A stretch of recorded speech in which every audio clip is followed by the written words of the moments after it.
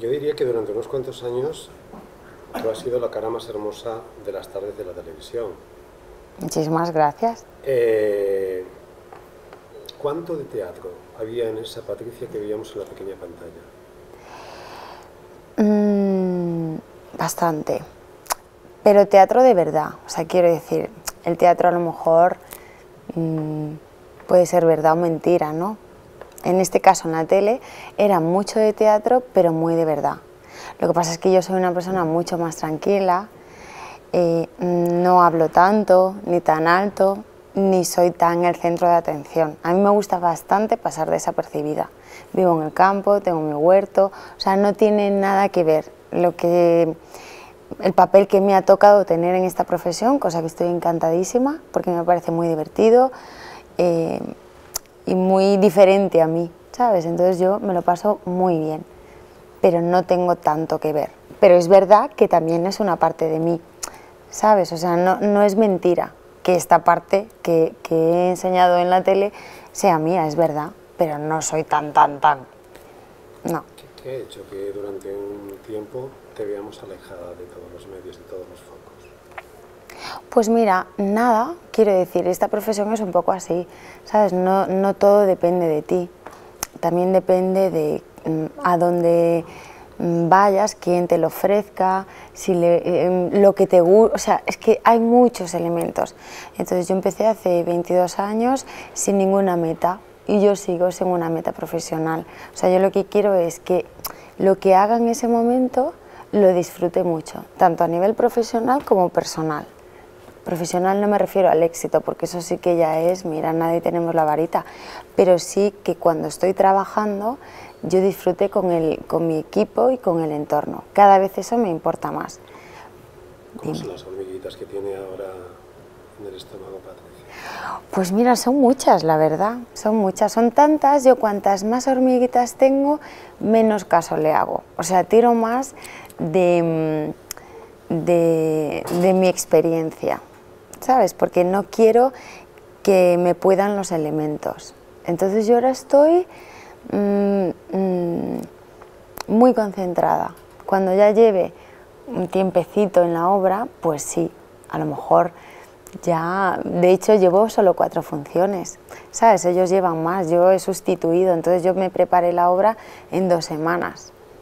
Sí que de vez en cuando me permito alguna licencia de mirar a alguien, porque no hay cosa más bonita que esa, ¿no? Que hacer cómplice real a alguien que está ahí viendo una historia. Pero todavía necesito un poquito más de, pues eso de que mis hormigas sigan ahí, porque yo me encanta que estén, porque me hacen una compañía que me encanta, pero que estén ordenaditas. o sea, ahora están un poco revolucionadas, pero vamos, lo llevo bien. Me han ayudado mucho, ¿eh? ¿Has sentido o sientes ese, ese miedo, ese pánico esceno, escénico perdón, Hmm. que los actores sienten ante la responsabilidad de lo que, tiene que, de lo que van a dar en el escenario? Es que mira, yo ese miedo escénico nunca me lo he querido permitir, porque no solo trabajas tú, ¿sabes? Yo digo un texto que ha escrito una persona que posiblemente ha estado mucho tiempo dándole vueltas a qué palabra va a poner en cada frase. Luego hay un señor que pone las luces, el sonido, el director, los actores, el escenógrafo, las astras, o sea, hay mucha gente detrás de mí. Entonces yo no me permito tener ese miedo escénico. Estoy nerviosa, pero yo formo parte de esa cadena. Igual que el de luz, el de las luces no se puede permitir no encender el foco al momento, yo tampoco tengo por qué. O sea, yo no me siento más importante que nadie de los que estamos aquí. Entonces nunca me planteo que me pueda quedar en blanco.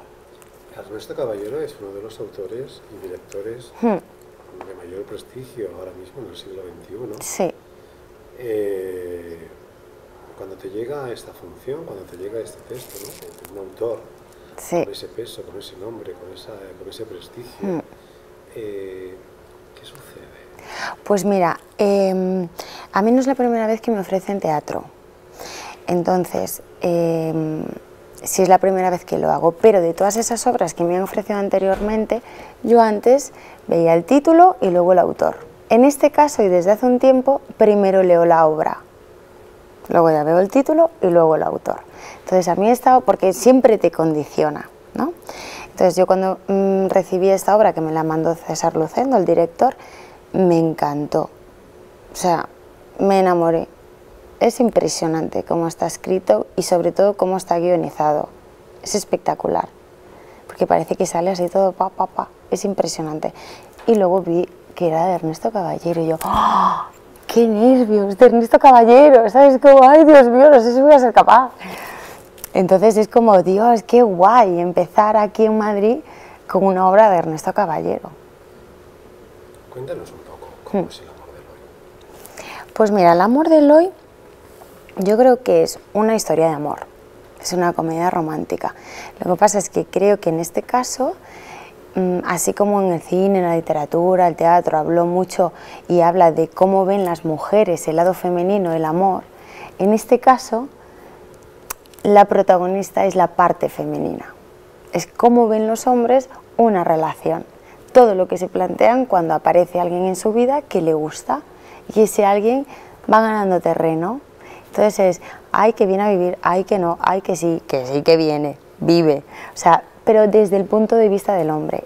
En este caso, el lado femenino es el que le da la continuidad a la historia porque por él estaría todo el rato y qué hago y si sigo y si no sigo. Pero claro, las mujeres, pues ya ahí decidimos antes, no quiere decir que mejor, pero sí muchas veces antes, y entonces pues es, como yo lo veo, la verdad, por eso me ha gustado. ¿Es una comedia para mujeres? ¿Es una comedia?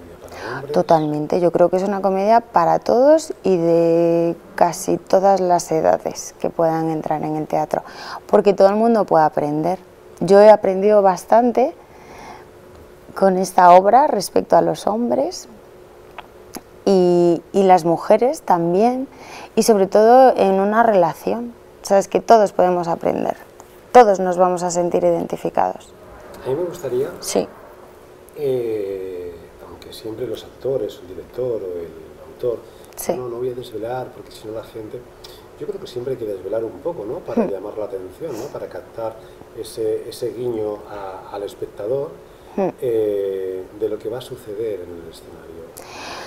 Pues sí, no, nunca lo había pensado así desde aquí, pero tienes razón, porque a mí, por ejemplo, no me importa que me cuenten el final de una película, ni de qué va un libro, porque yo lo que quiero es ver la película y leerme el libro.